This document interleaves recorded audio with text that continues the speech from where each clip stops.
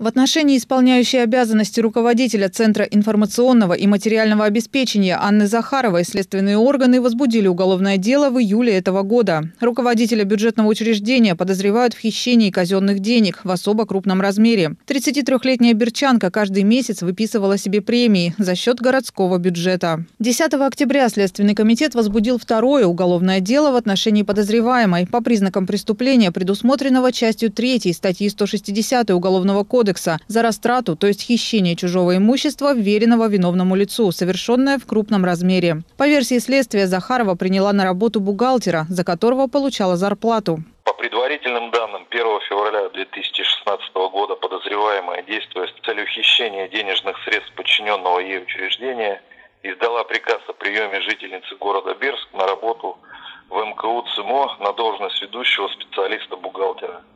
В то же время фактически лицо приказ о приеме на работу которого подписала фигурантка дела, служебные обязанности по указанной должности не выполняла.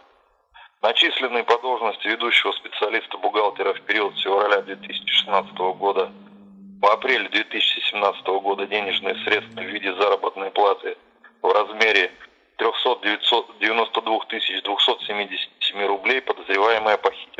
Напомним, что событие, послужившее основанием для возбуждения уголовного дела, было выявлено Управлением ФСБ по Новосибирской области. В настоящее время по делу продолжается проводиться комплекс следственных действий, направленных на установление всех подлежащих доказыванию обстоятельств.